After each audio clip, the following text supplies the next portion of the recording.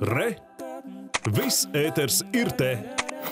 Sākam ar skumju vēsti. Viņas skarbais balss skanējums nav sajaucams ne ar vienu citu. Mūzika bija visa viņa dzīve, un tā turpinās skanēt. Diemžēl šis rīts nāca ar skumju ziņu mūžībā devies grupas opus pro solists Aleks, jeb īstajā vārdā Oļeks Andrējevs. Aleks 1962. gada 10. decembrī Daugavpilī un 1986. gadā kopā ar ģitāristu Hariju Zariņu izveidoja rokgrupu Opus Pro, kas kļuva par vienu no populārākajām latviešu grupām pagājušā gadsimta 80. un 90. gados. Tāpat 90. gadu sākumā Aleks muzicēja latviešu grupā Rīga, kas darbojās Amerikā.